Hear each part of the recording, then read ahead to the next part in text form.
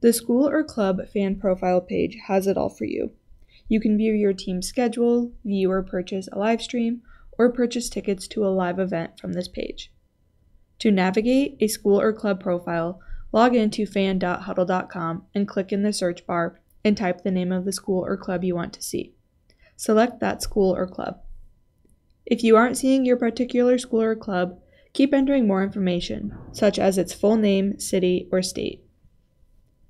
You are now on your school or club's profile page. Here you can view schedules, rosters, and highlights, as well as purchase live streams or tickets to live events. Click Schedule to view the schedule for any teams for that school or club.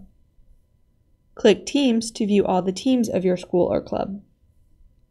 You can also find your team's schedule, roster, and videos on this page. Click Video to watch previous or upcoming videos or to purchase access to a live stream. Click Tickets to purchase both a live single event ticket or a ticket pass.